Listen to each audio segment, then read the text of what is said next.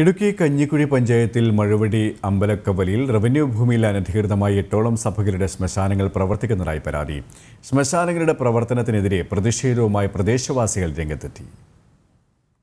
കഞ്ഞിക്കുഴി പഞ്ചായത്തിൽ മഴുവടി അമ്പലക്കവലയിൽ എട്ടോളം സഭകളുടെ ശ്മശാനങ്ങളാണ് അനധികൃതമായി പ്രവർത്തിക്കുന്നത്. പഞ്ചായത്തിന്റെ ലൈസൻസ് പോലും ഇല്ലാതെയാണ് ഈ ശ്മശാനങ്ങളുടെ പ്രവർത്തനം. അഞ്ചേക്കറോളം പട്ടയമില്ലാത്ത ഭൂമി സ്വകാര്യ വ്യക്തി വാങ്ങി പത്ത് ഇരുപത് സെന്റുകൾ വീതം എട്ടോളം സഭകൾക്ക് വൻ വിലയ്ക്ക് വിൽക്കുകയായിരുന്നു. അനധികൃതമായി പ്രവർത്തിക്കുന്ന ശ്മശാനങ്ങൾക്കെതിരെ പ്രദേശവാസികൾ ജില്ലാ കളക്ടർക്ക് പരാതി നൽകി.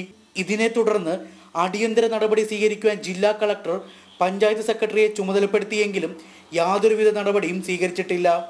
ഇപ്പം പഞ്ചായത്തിൽ നിന്ന് ആൾക്കാർ വന്ന് അവർ പ്രസിഡന്റിന്റെ അനുമതിയോടാണ് ഇപ്പോൾ ഇവിടെ ചുറ്റുമതിൽ വെക്കണമെന്നൊക്കെ പറഞ്ഞിട്ടുണ്ട്. അപ്പം ഞങ്ങൾ ചെന്ന് ചോദിച്ചു കഴിഞ്ഞപ്പോഴത്തേനെ ഞങ്ങൾ കയറി ചെന്ന് ചോദിച്ചു കഴിഞ്ഞപ്പോൾ പ്രസിഡന്റ് പറഞ്ഞത് ഈ സിമിത്തേരി അത്ര അവിടെ ഇരുന്നോട്ടെ അവരത് സിമിത്തേരിക്ക് വേണ്ടി മേടിച്ചിട്ടേക്കുന്നതാണ് എന്നാണ് പ്രസിഡന്റ് പറഞ്ഞത്. അൻപതോളം കുടുംബങ്ങളാണ് ഇവിടെ അധിവസിക്കുന്നത്. രാത്രികാലങ്ങളിൽ അന്യജില്ലകളിൽ നിന്ന് പോലും മൃതദേഹങ്ങൾ കൊണ്ടുവന്ന് സംസ്കരിക്കാറുണ്ടെന്ന് പ്രദേശവാസികൾ പറയുന്നു.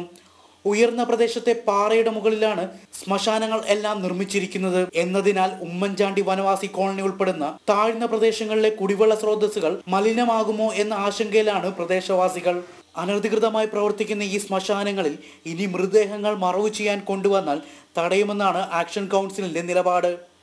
ജനം ഇടുക്കി.